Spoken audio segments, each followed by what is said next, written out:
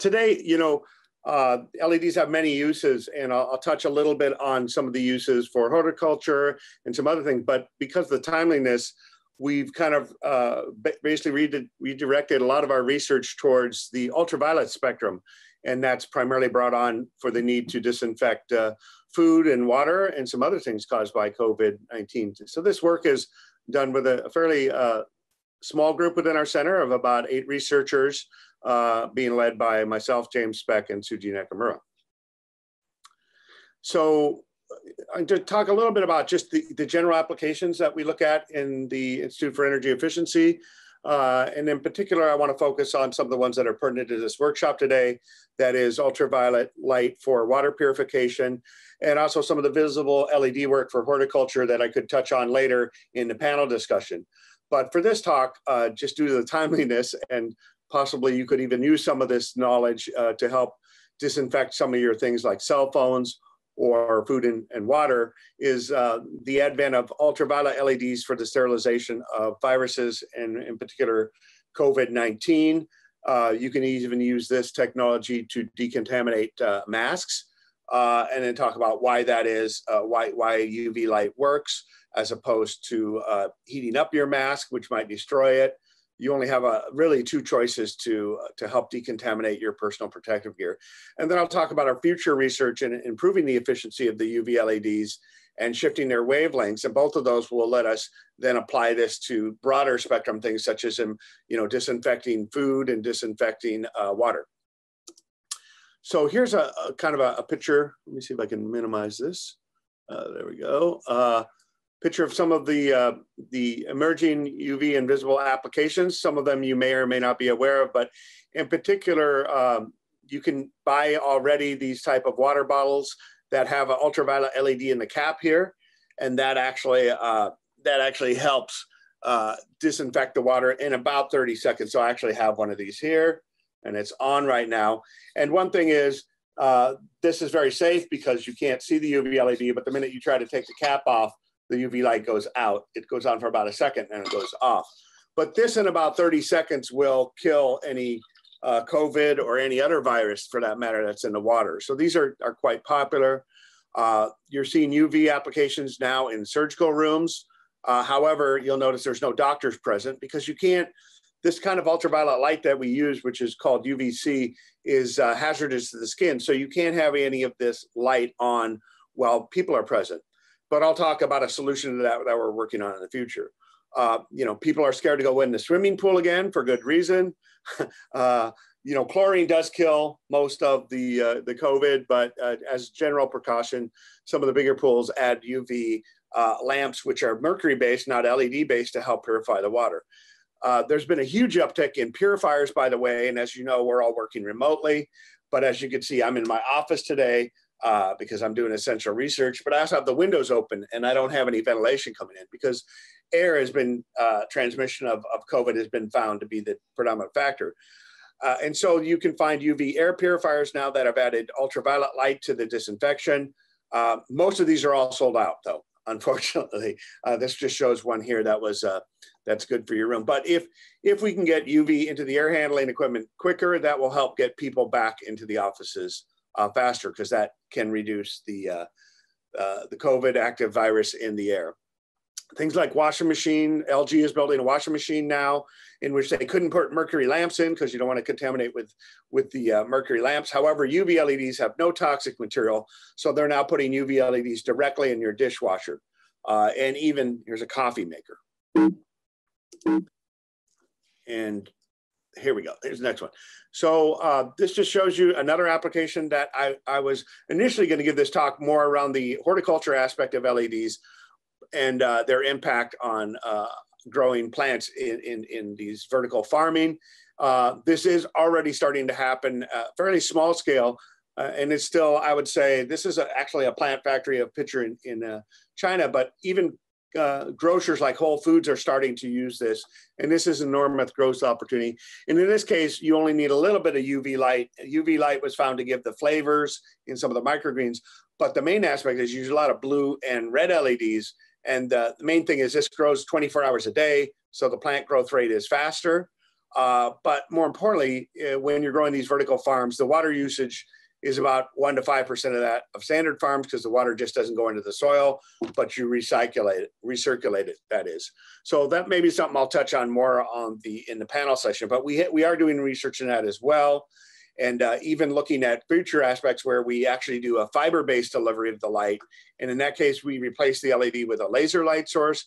This one shows you a uh, where we do a blue laser into a fiber and uh, it turns out to grow plants, you pr pretty much only need red and blue light and a little bit of ultraviolet light. And so this was a demonstration we did here in collaboration with uh, Susan Mazer in the uh, biology department. Uh, so I expect we'll start to see that sometime uh, in the distant future, but just showing you some of the applications of light. But really for this talk, I just wanted to touch more on the ultraviolet, uh, what's called the UVC spectrum, uh, LED effort because this is, uh, I think, pertinent to, to all of us today, but uh, also can be done efficiently and safely. So uh, this shows you here, we are disinfecting some uh, viruses. I actually bought a, a UV phone disinfector here. I'm not sure you can see this, let me unplug it. But this one does a, a phone in about 30 seconds. Uh, and it's, I got my phone in here so that you won't hear it. But just showing you that this is starting to, and these are products that only have hit the market in the last few months. And why is it that these materials uh, that I work on, gallium nitride, are being used for ultraviolet and, and visible light? Well, what's shown here is what's, you know, for the non um, semiconductor scientists in the room, the main thing you need to look at here is the colors here. These are the colors we can generate with this material system, which is called aluminum gallium nitride. And this is currently the only material system that you can use to generate ultraviolet light. Ultraviolet, or what's called UVC light, is wavelength shorter than 280 nanometers shown here. And that's uh, this blue line here. And you can see that only things above this blue line, so that is an, an alloy on this line here of aluminum gallium nitride will have a wavelength short enough. However, this material system is also the one that's used to make the white LED lamps that you can buy at Home Depot or the, uh, the red, green, and blue colors. Uh, I didn't go that way. Uh, basically, you can see as you move from the ultraviolet into the visible, we can hit it by just adding indium. So this is what, what a typical chip looks like. This is about 200 by 400 microns, and this is what we use to generate the ultraviolet light. So just a little backup about why UV light is very important for the uh, for basically disinfection is that it directly, it's, it's one of the few wavelengths, uh, and you actually cannot get UV light from the sun. All the UVC light is filtered out by the uh, ozone layer. So we have to generate UV light basically synthetically on the earth. And uh, when you do that, uh, you can see that it is the only wavelength of light that actually disrupts the uh, DNA and RNA in the uh, microorganism. So deep ultraviolet light will actually break the, the proteins here and uh, through these two, two pathways, either you basically uh, break the adjacent nucleic acids in the DNA or RNA, or you break apart the uh, protein. And the good thing about this technology is there's to date never there is no um, UV resistant pathogens that have currently been found. So this is a, an advantage of UV sterilization in the era of drug resistant microorganisms. Uh, it's it's basically one of the only techniques we have that you can use to. Uh, we're fairly sure it will take maybe hundreds of years before there's a, a UV resistant uh, microorganism. And so, how long does this take to sterilize things? So we've uh, one of our member companies here is Seoul Viosys, and uh, they they make a little uh, handheld sterilizer. But they did a study in which uh, they basically took a 1.3 milliwatt LED, and this shows you petri dish. Um, basically with uh, with a SARS-like uh, virus, which has been inact inactivated, showing you that after about 30 seconds here in these uh, blue petri dishes, you can pretty much, with what's called a UV dose of 40 millijoules per square centimeter, you can eliminate um, contamination by a COVID-like virus. So this UV dose is some complicated math here, but really it's pretty simple. If you go down to my little box here, it's if you have a, a basically a couple milliwatt LED, and you know how many milliwatts you're hitting per square centimeter. In this case, uh, like in that little phone dish sterilization box, you can disinfect things like your cell phone or the surface of your uh, fruit in about 30 seconds with a typical kind of LED dosage we need. So it doesn't take forever to disinfect. So this is actually fairly fast when you consider uh, some things. However, as we'll see, the case study on, on personal protective gear in which you've got to disinfect huge areas, you need much longer times. So how efficient, uh, what's called the efficacy is, is this uh, basically uh, is dependent on the spectral sensitivity of the, the virus. This shows you wavelength here. And basically you want, uh, you want wavelengths that are shorter than 280 uh, so things like uh, this is the RNA absorptions. So 280 works good. So this is where all the UV uh, lamps, the mercury lamps that you buy, they're currently. So you have maximum UV efficacy here. However, you can't have any direct skin exposure. There's a, a new class of research we're doing, which is called far UV research, which is centered around 222 nanometer. And the reason we're doing this is you can see it's about four to five times more efficient than our longer wavelength stuff backup. Uh, but more importantly, there's been studies in Japan and at Columbia University that show it's it's safe for the skin and it's actually safe for the eyes. Uh, and so they're trying to get FDA clearance for this. But in the meantime, we're having to help them uh, develop the correct wavelengths for this technology. And, and, and a lot of uh, other companies would like to see a, a high efficiency 222 nanometer LED. Uh, here's just a case study that I want to show you that was done uh, not by our group, but by the NIH, in which they uh, looked at uh, disinfecting an N95 masks. As you know, uh, I mean, I'm sure you all have a few of these at home and you're actually supposed to disinfect them or throw them out after one day. A lot of us are using them for many days. Uh, I can throw my UV mask in my little cell phone sterilizer. And the reason you can't basically disinfect these with alcohol or soap and water is because of the basically the uh, activated charcoal inside and they're composed of some things that will deteriorate pretty quick if you try to heat them up in an oven like cellulose and rubber. So these are the current list of CDC approved decontamination mechanisms. So right now there's only really three recommended. There's hydrogen peroxide, uh, but this is a hydrogen peroxide oven that you have to buy that hospitals have. You can use UV sterilization. So this is proven to be 99.9% uh, effective for MERS and SARS. Or you can use uh, moist heat in, a, in an oven. Uh, you, you know, they also looked at uh, ethanol, ozone, and steam uh, is another way, ethylene uh, oxide, but we'll see there's some, some problems with these techniques. Again, in this case, we, all the viruses, all the coronaviruses have these RNA in them. And uh, basically, RNA lacks a robust mechanism for sequence proofreading means it's, it's, it's actually much easier to uh, destroy this than DNA. So the uh, this shows you the basically the uh, the the uh, the top four methods to decontaminate personal protective gear. Um, current one probably in in the highest dominance is vaporized hydrogen peroxide. So this is good because it, it does it in about 10 minutes and it's good for up to three uses. Uh, however, you can't buy this at home. This is currently fairly big ovens made by Panasonic and they're typically only available in, uh, in hospitals. Uh, UV sterilization is good for the same, at least up to three reuses. Uh, we now think it's good for up to six, possibly more. Uh, the only disadvantage here is, is because the UV LED powers are still low, uh, and the LEDs are positioned 50 centimeters away from the personal protective gear, it takes about an hour. And this shows you the, the virus um, kill rate here, showing you you have to go out to about 55 minutes because you want to get down to this dash line here. Uh, ethanol, you can see, is very fast. However, as we can see, ethanol uh, basically damages the mask after the first, tr first try. So that is, you cannot, unfortunately, disinfect your N95 masks with uh, with alcohol, with ethanol in this case. So it's not recommended anymore. Uh, and really, uh, one method you could do is you can heat them up in the oven at 70 degrees C for an hour.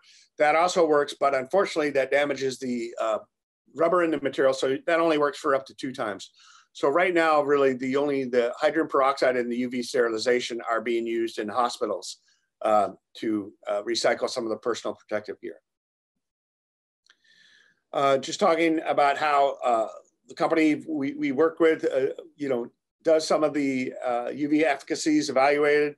Uh, and we're working with the biology department here to um, hopefully work with professor there who will help us get the ability to do this at UCSB. But basically, it's a fairly long process where you've got to maintain a, a, basically inoculated form of the SARS-CoV mass deposited on the uh, on your whatever you're trying to disinfect.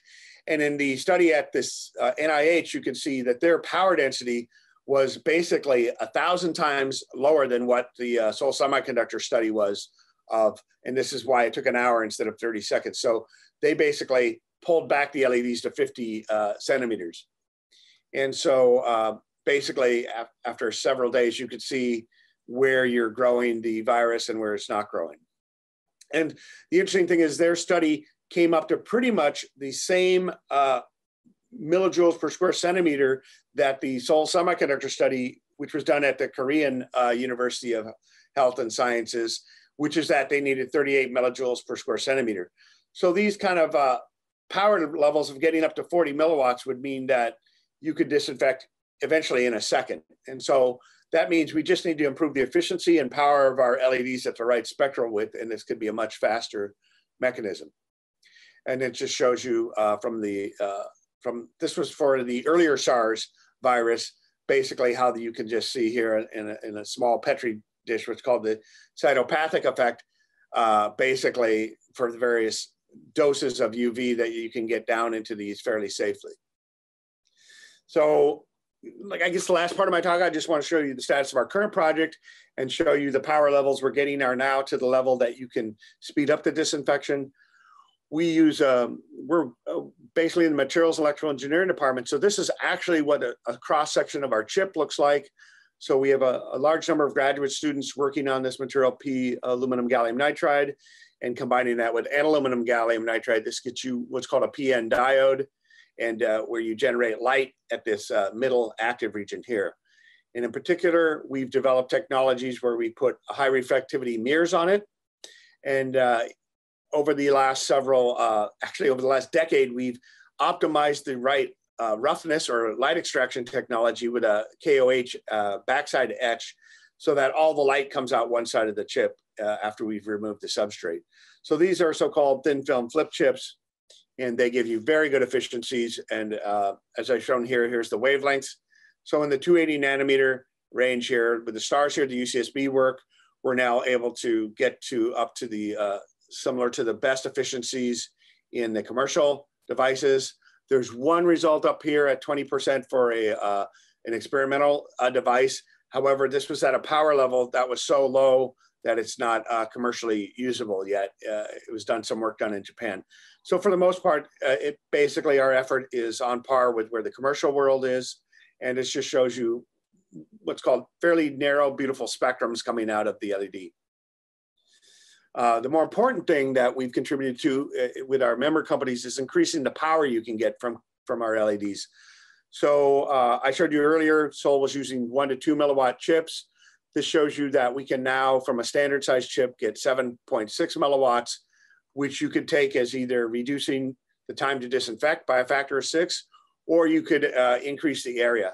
And so this was obtained after we roughened the chip, uh, shown here in red, uh, whereas when we didn't roughen the chip, we only got four milliwatts out. So one of the companies we work with in our center, Seoul Viosys, is making commercial products. They're also employing some roughness technique uh, that they've licensed from us. So this is this is then the impact of getting to the power levels you need now to disinfect things uh, like water and and do it in a much faster means.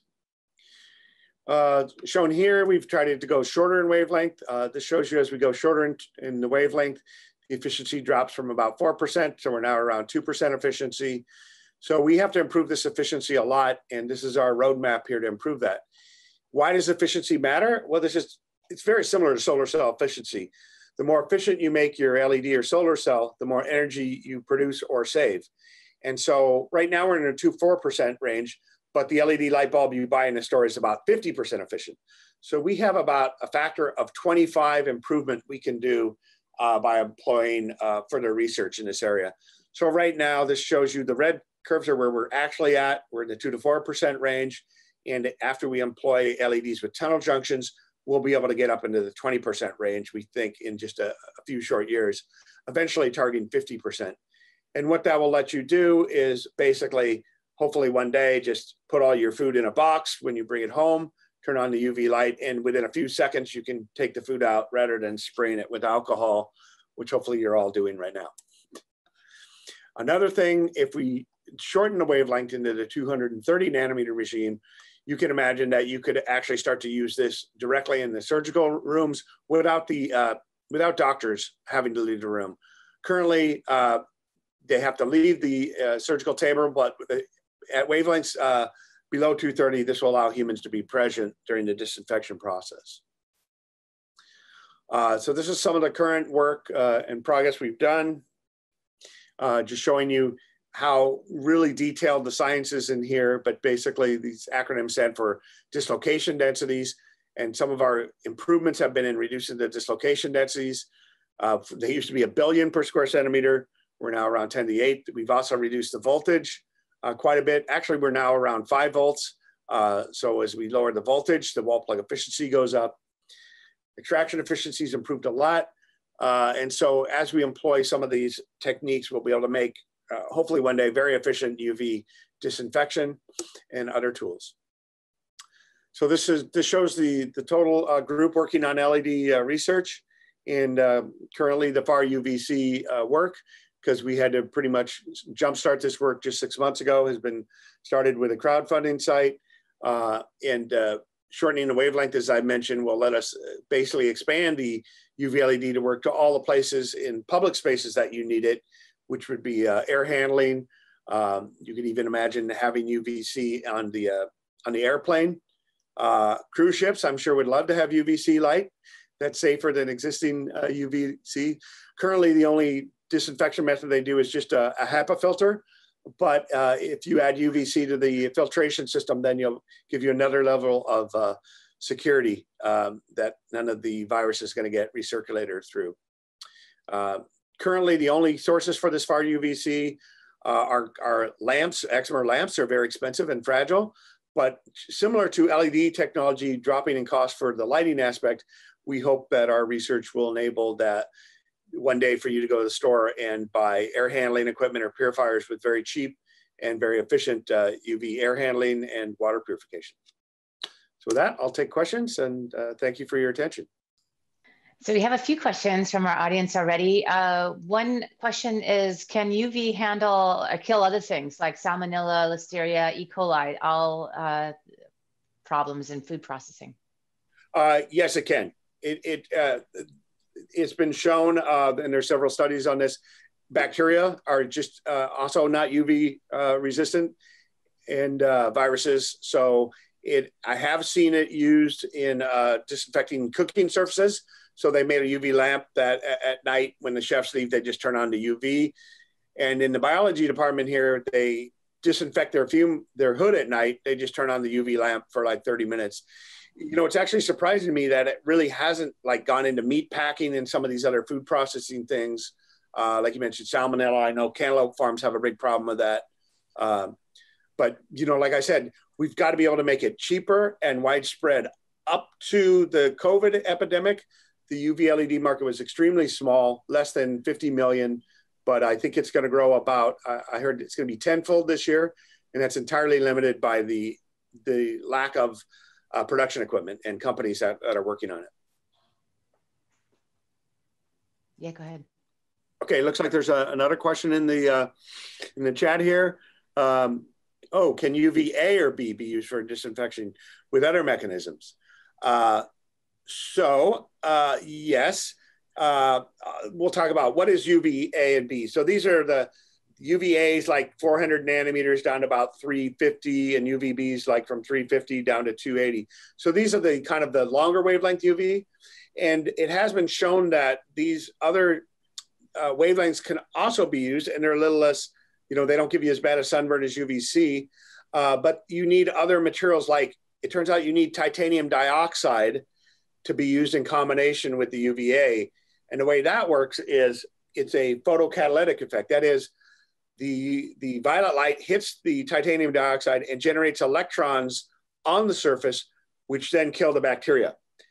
Uh, most importantly, those are mainly those other wavelengths are good for bacteria, but they haven't been shown to kill the viruses. Bacteria is actually easier to kill than the virus.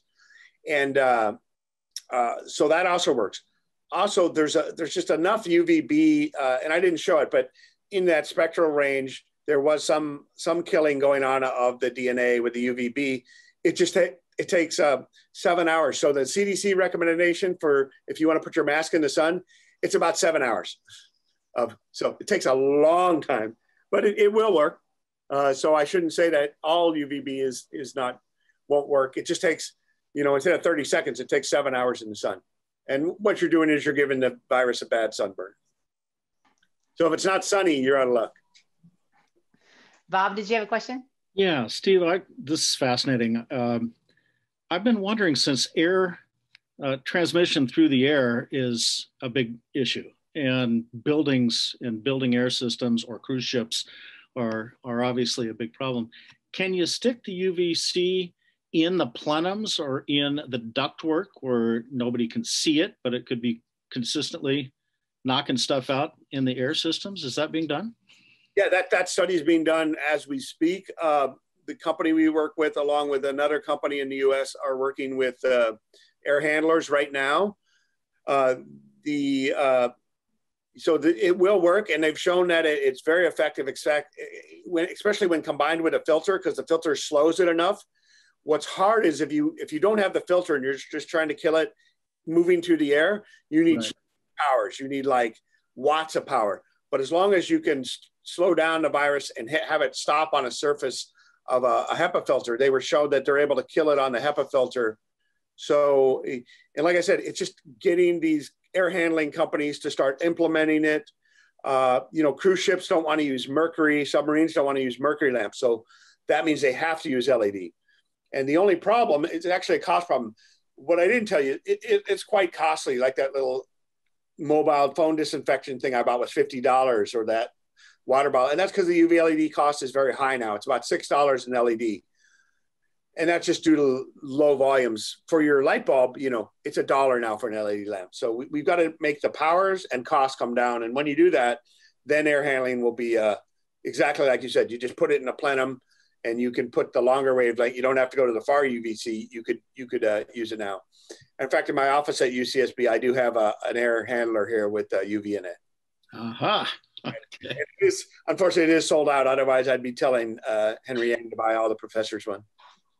But you know, there are a couple online you can buy, and uh, if if anybody's not working at home or anybody's working in office, especially if there's other people around, you might consider buying a uh, purifier with a HEPA filter and UV in it because it, it is more efficacious. Thank you. John, did you have a question? Yeah, Steve, obviously I'd like to use a laser in terms of getting higher intensity and, and how what's the shortest wavelength laser you're being able to make and what's the prospects for making a UVC laser? Yeah, the, the prospects are, are good long term, but the shortest wavelength demonstrated to date for this material system is 364. So that's UVA. So we have a long way to go to get to UVC to get to 200. However, uh, what's called a photo pumped laser, that is, you know, when somebody pumps it with a, a, a neodymium YAG, has been shown to be uh, 250 so in the right wavelength range. So we know the material is capable of it, but nobody's made a UV uh, B or a UVC laser yet. And as you know, once we do that, yeah, the power levels then can be in the watt range, and and that would change it. But then we got to be really careful about safety because now you got a, a, lot of UV power and it's coherent. So we'd probably have that in the plenum uh, as well, like Robert had mentioned. Make sure we keep it. But so I think I think it, we're about four years away from getting a UVC laser we could do it. It's just going to take time.